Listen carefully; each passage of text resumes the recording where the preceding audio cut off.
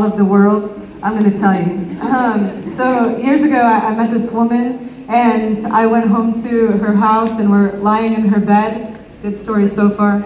And, um, and we're about to kiss for the very first time. And right before our lips touched, she jumped up out of the bed and she ran to her closet and she got a stethoscope. And she came back to the bed and she put the little earpieces in my ears and she slipped the knob down her shirt onto her heart and she whispered, I want you to listen to my heart speed up when you kiss me. And I kissed her and her heart got so fast. Moral of the story, buy a stethoscope. It is like the sexiest, most romantic gift. You can even, I wonder, I've been wondering if you can carve something on that little thing, like, you know, some sweet little message. I don't know. Should sell stethoscopes at the merch booth, right?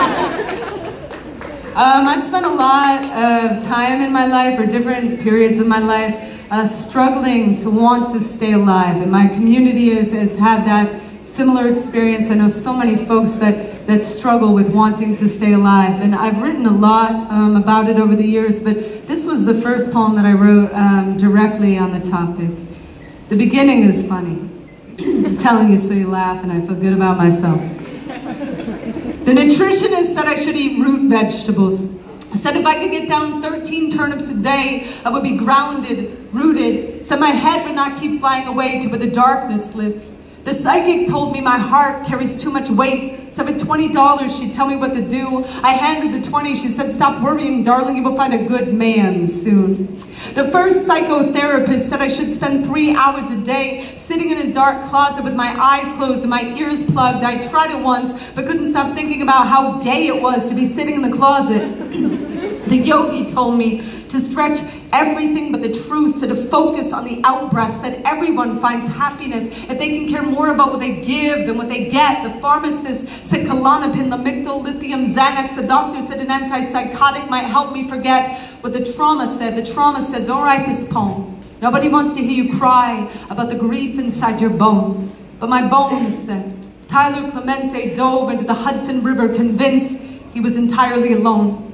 My bones said, write the poem to the lamplight, considering the riverbed, to the chandelier of your faith, hanging by a thread, to every day you cannot get out of bed, to the bullseye of your wrist, to anyone who has ever wanted to die. I've been told sometimes the most healing thing we can do is remind ourselves over and over and over. Other people feel this too. The tomorrow that is come and gone, and it has not gotten better.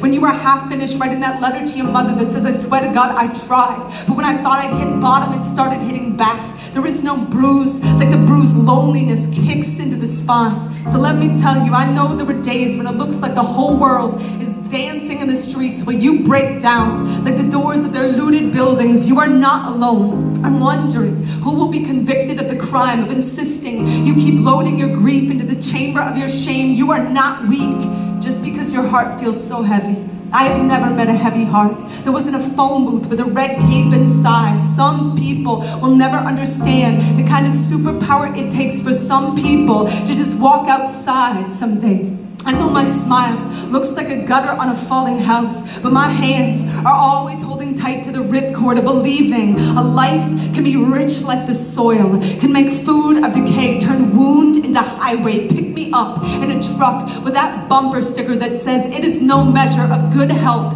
to be well adjusted to a sick society. I have never trusted anyone with the pulled back bow of my spine the way I trust the ones who come undone at the throat, screaming for their pulse to find the fight to pound. Four nights before Tyler Clementi jumped from the George Washington Bridge, I was sitting in a hotel room in my own town, calculating exactly what I had to swallow to keep a bottle of sleeping pills down. What I know about living is the pain is never just ours. Every time I hurt, another wound is an echo, so I keep listening for the moment when the grief becomes a window, when I can see what I couldn't see before, to the glass of my most battered dream. I watched a dandelion lose its mind in the wind, and when it did, it scattered a thousand So the next time I tell you how easily I come out of my skin, don't try to put me back in. Just say, here we are, together at the window, aching for it to all get better, but knowing there is a chance our hearts may have only just skinned their knees, knowing there is a chance the worst day